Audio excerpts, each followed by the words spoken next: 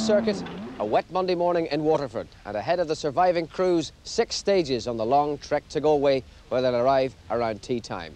And the day begins with the story of a Welshman, an Englishman, an Irishman, and a Scot.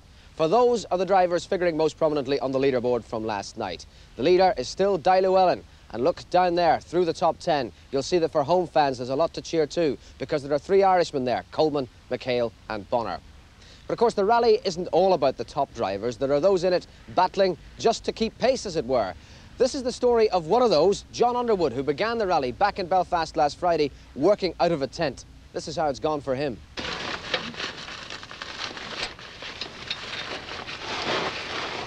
Before the start in Belfast, we went to Crawfordsburn Country Park to find this enthusiastic team, who had improved their accommodation arrangements slightly by moving into a scout hut. It's very comfortable. We have a gas fire here. There's a kitchen out the back, a bedroom, a toilet block and a shower. It's all you need, really. So we're quite happy here. Well, this is enthusiasm, I think, like I've never seen it in rallying. What's your total budget for the entire event? Uh, we reckon about a thousand pounds if all goes to plan, and we actually get round. So. And how does that break down? Um, the major part of it we've already spent.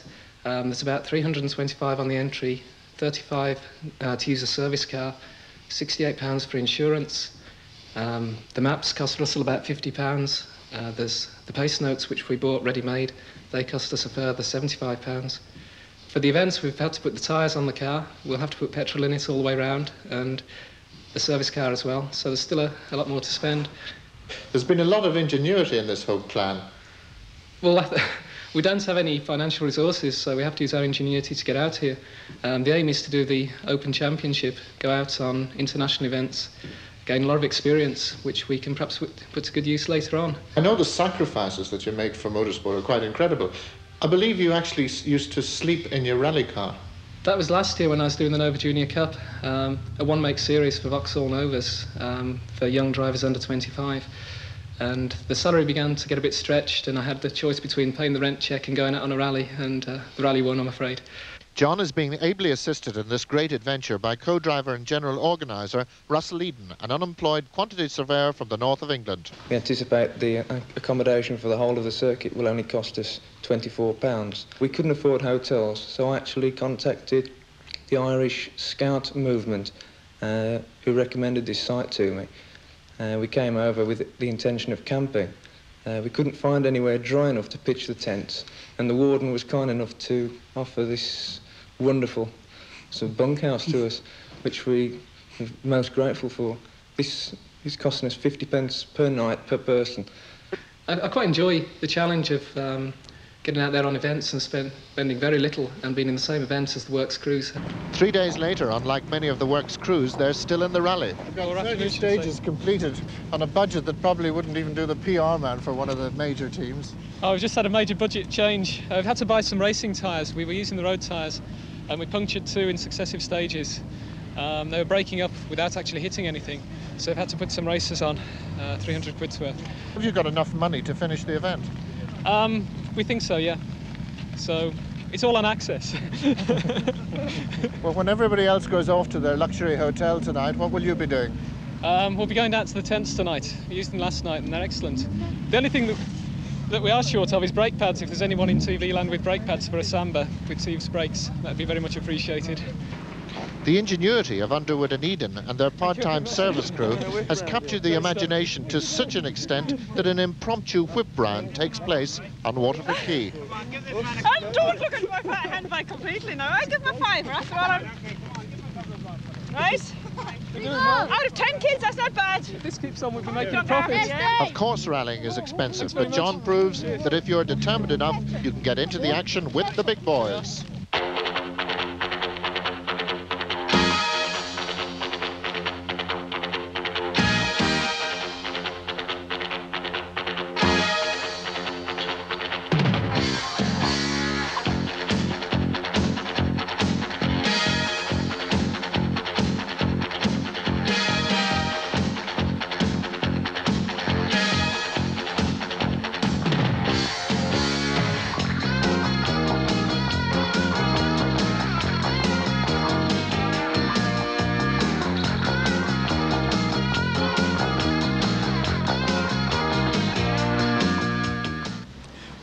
Of good news we did learn here in Waterford, the names of the four members of the Irish rally team who are going off to the Rothmans Cyprus rally in September. And those names are about to be announced by Richard O'Rourke, the team coordinator. Richard, who are the lucky four? Well, the four people we've selected are AJ Keating, Frank Marr, Maria Maloney and Pat Dunyan. I said they're going to represent Ireland in Cyprus. Why Cyprus? Well, we've had a lot of contact um, with Cyprus over the last couple of years. I've been out there for the last two years and uh, other people like Brian Patterson and Sammy Hamill and some journalists have operated in the press room in Cyprus. And uh, the press officer of the Cyprus rally, Tony Christodoulou, has in fact been the assistant press officer here for the last couple of years. So there's quite a lot of contact there. And uh, the Cypriots, funnily enough, uh, think that Cyprus is a little bit like Ireland in that it's divided through political problems and uh, they're an island country like ourselves. Uh, it's a totally different type of rally into Ireland, of course. It's loose surface, very hot, very dusty. And we thought if we're going to take people abroad at all, we may as well make it an adventure for them. But what of the unsung heroes of any rally, the service crews? David Lapworth, team engineer of Rothmans, gives us some insight into their world. It's hard work for the mechanics because they usually end up working longer hours actually than the uh, than the drivers by quite a margin. How do you recruit these people? I mean, are they um, motorsport enthusiasts? Well, we've got a mixture. We've got probably now in the team 50% sort of established old hands that have been around rallying for years. You know, some of the lads have been around for 10 years or more. Uh, and we've got uh, three or four young lads. Uh, two of whom we started off as, as apprentices and are just learning the ropes from the others. Well, now they're really producing miracles. A gearbox change in 13 minutes, yeah. that's totally unheard of two years ago. Yeah, that's right, yeah. Uh, that's probably 50% practice and uh, sort of tuning the, the methods, and 50% uh, actually just sort of little modifications to the way we, which bolts we use in which places, trying to get it so that perhaps as many bolts as possible are a common spanner size, so there's not too much searching for spanners. Uh, just lots of little tricks, and it gradually gets quicker and quicker. David, a damp morning, but I don't suppose that worries you too much. Uh, no, as, as long as the weather stays pretty constant, it's um, it's easier to choose the tyres. The problem is when we have showery weather like we're having yesterday and the stages are wet and then dry and then wet, that's when it's difficult. So you I'd rather, rather it stays one thing. You've got quite a comfortable lead in hand. Does that mean you can afford to take things a little bit easier this morning? Uh, no, uh, I don't think so because uh, when Jimmy had a problem yesterday, uh, we thought, well, we'll ease off a little bit, um, and we eased off too much. And Russell took 23 seconds off us on the stage, so I mean, it, you mustn't ease off too much, um, but yet you can like just take it a little bit easier, perhaps. If this is easier, it doesn't look it. Russell Brooks knows that this is the section of the rally that will really count. Ahead are 21 stages and nearly 48 hours of non-stop motoring. Coleman's plan is to stay in touch with Brooks, who is just over three minutes ahead.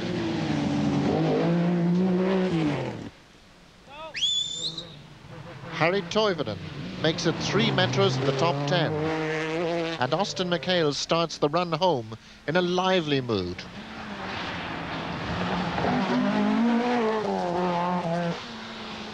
Vincent Bonner's performances this weekend have been outstanding proving that his 1983 Donegal win was no flash in the pan.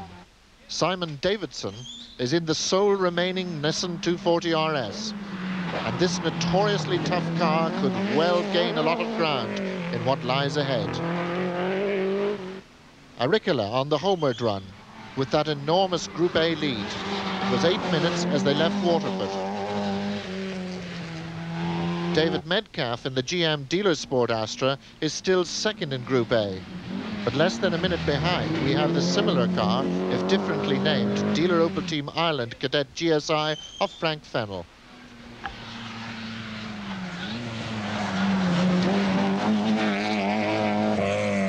Brian Wiggins makes it a GM quartet at the top of Group A. But Andrew Wood is now exactly a minute behind. Eddie Coulton is having a glorious first outing in the Group A Peugeot. They have now moved ahead of the following Richard Hall, but only 19 seconds separate them. Although the order is now reversed, the battle has been this close for two days.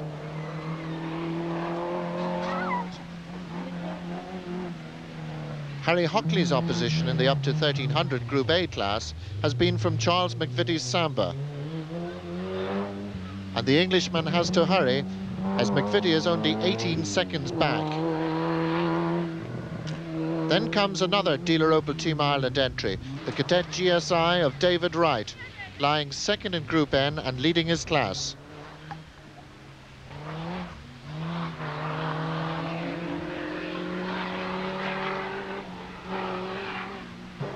Coming round the mountain of Slieve Le the leader. These right-angular bends suit the Manta.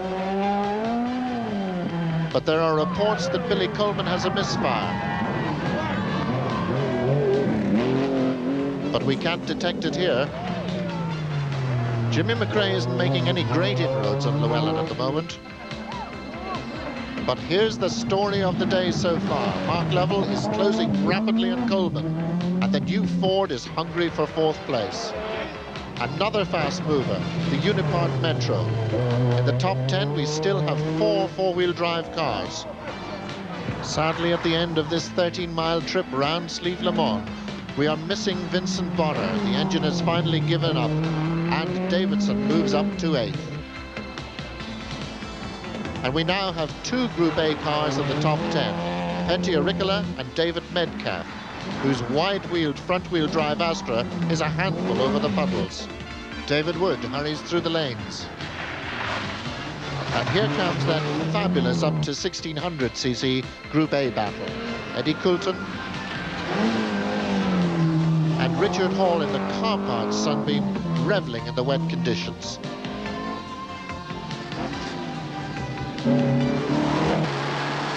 Louise Nolan's RS Turbo was forced out of the rally with clutch problems on day one.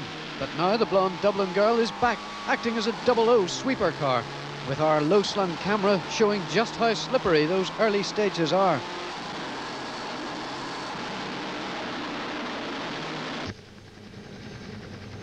With two stages complete, the battle on the roads is replaced by a battle against the clock as the cars arrive for some restoration work in the Littleton service area. It's a time of controlled panic as tyres are replaced and any damage is repaired.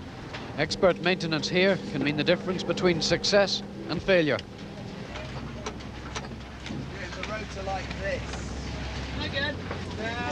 The cars are replenished with fuel.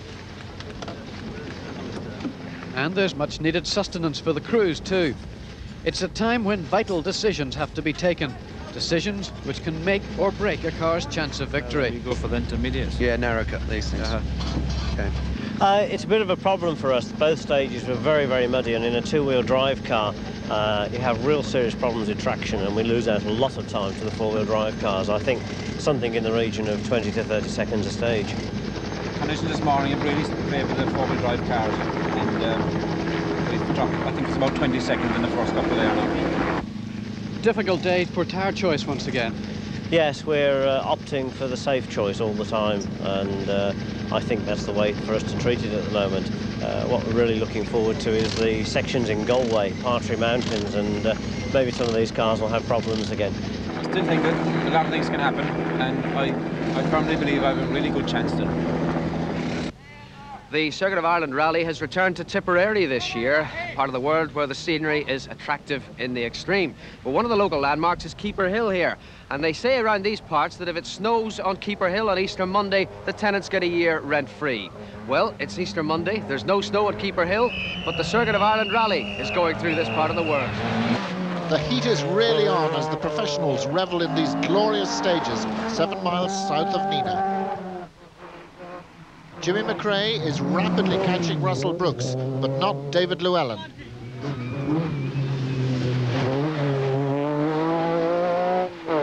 But that misfire in the Porsche has cost Coleman 32 seconds over Brooks in the two-wheel drive battle. Lovell's progress is electrifying in the Ford. The current British national champion is now nine seconds behind Coleman in fifth place. Harri Toivonen's excellent run is now being hampered by electrical problems, and he arrives at stage 34 in quite a flap. The Shell Manta 400, driven by Austin McHale, is undoubtedly one of the entertainers of the event, as the Dubliner flings the Black Manta round with gay abandon. Simon Davidson has now a gearbox problem. It will have to be changed at the Limerick service.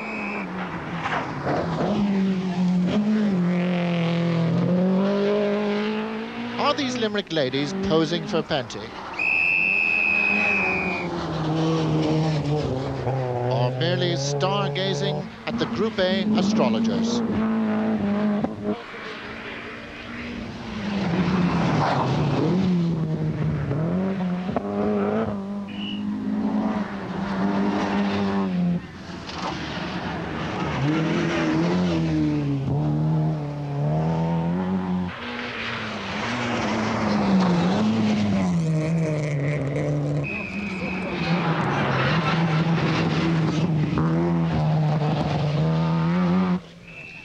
Richard Hall in the Sunbeam TI hurries through, ahead of John Lyons, who is already prepared for serving after hours in the Budweiser Honda Civic.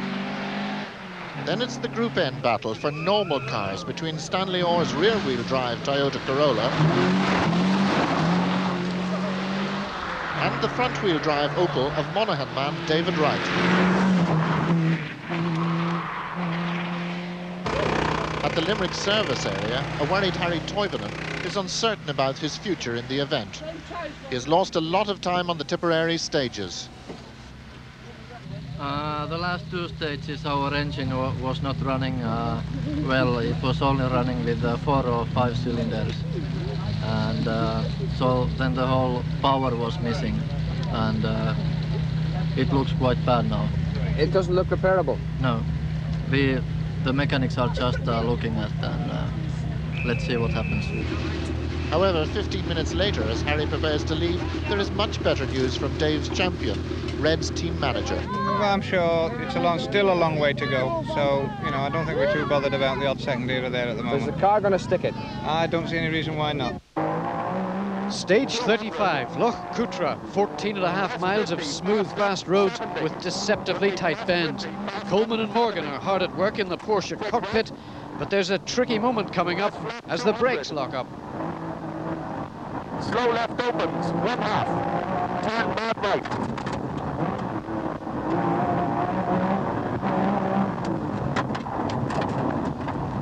Twenty. Sharp left, twenty. But it's not a serious problem. The Porsche continues. Llewellyn's position at the head of the field remains secure. As he heads into Galway, the young Welshman says he'd be happy if the rally ended now.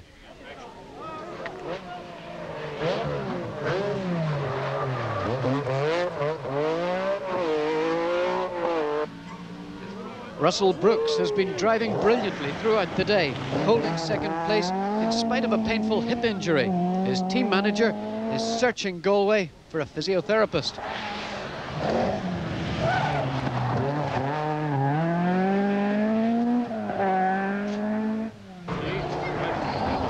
Coleman's car still bears the scars from yesterday's accident, but it's still going well. However, the final stage of the day is another of those hairy moments.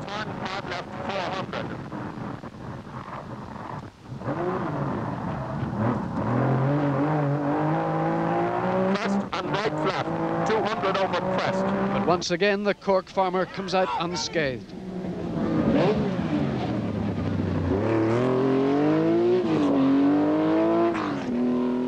Jimmy McRae has been flying over the last two stages of the day, setting the fastest times in his effort to catch Brooks and Llewellyn.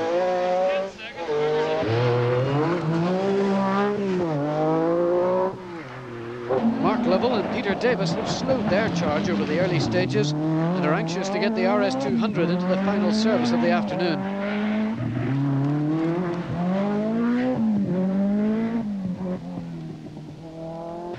Austin McHale has been throwing the taillight with style today, and the crowd love it. Simon Davison's Nissan is still going strong in eighth place, while Pentti Airikkala is ninth and still leads Group A.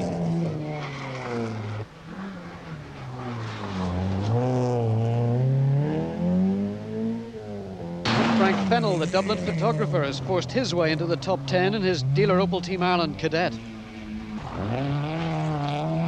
John Lyons shows a certain amount of style in his Budweiser Honda. While Andrew Wood is heading for a top 10 place soon, having fought his way back from 43rd after an early accident. And Brian Much has severely altered the front of his Strada, but he still makes it into Galway. And helping to maintain the Scandinavian challenge, Lars Sundling from Norway in his Group A Honda. And so to Galway and an hour's rest for the crews. The 10th placed Frank Fennell drives in after a very successful day. Uh, very good, yeah. We think we have ourselves up to 10th now. We started off 12th. We uh, very happy now at the moment. So what were conditions like out there? Uh, it was very, very slippery early on, uh, much slippier than previously. So uh, everybody was in uh, bother. We had a few hairy moments, but uh, managed to get through. Is he looking forward to tonight? Uh, yes, after rest now we should be, yeah. Um, so uh, that's it, no problems. Meanwhile, Pentti Airikkala's co-driver, Ronan McNamee, has a problem to solve. The service crew were asking me where in Galway could they get something to eat, and we've only got just an hour here. So there's a hamburger joint up the street, and we're all going to that now. Well, Dai Llewellyn is leading this rally into the final night. We talked to you the first night. You thought you were leading, then it turned out you weren't, but now you are very definitely. It must feel great.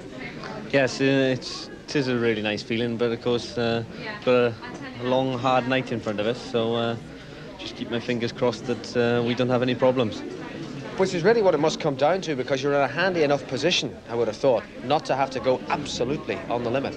That's right. I mean, we're five minutes in the lead, so uh, if we have a problem, then it, it, obviously it'll be shortened a lot. So uh, if we have a good, smooth run, uh, hopefully we'll uh, we'll do it all right. Well, Russell Brooks was able to take advantage of the misfortune of the former teammate Jimmy McRae to claim second place, but the work still has to be done. Oh yes, uh, Jimmy's going very quickly, and you've got to remember, of course, that the Manta is a very reliable rally car, but it's one of the uh, the old type of rally cars, and it's not as powerful as the Metro. So, uh, very pleased that we can hang on to second place at the moment. I understand you had a bit of a problem and you were seeking physiotherapy. I don't know what it is, but uh, I woke up this morning with a terrible pain in my backside. and it wasn't Mike Broad either. uh, it's got a bit easier now as the day's worn on, so not too much trouble. Jimmy McRae is in third place with a Metro that gave problems earlier on, but now is okay. The car is okay, and the car's going well. The run up to Galway, we've had no problems, uh, so we just hope we can continue through the night like that. You gave yourself a lot to do. Is it still there for the winning? I don't think, unless David Llewellyn has problems, I don't see us catching him. In fact, but I don't think we could catch him, other than he had a problem. But presumably that isn't going to enter your head when you start to drive again tonight. No, no, no, no. We're just out to to try and try and be in uh, Belfast first. Uh, Billy Coleman is in fourth place, and uh, a very popular fourth place, of course. But um, you've had a few problems. Mostly small problems today, uh, George. Um, the big problem we've had, of course, that bloody puncture two days ago, and uh, no matter what I do, I can't seem to uh, make up the time.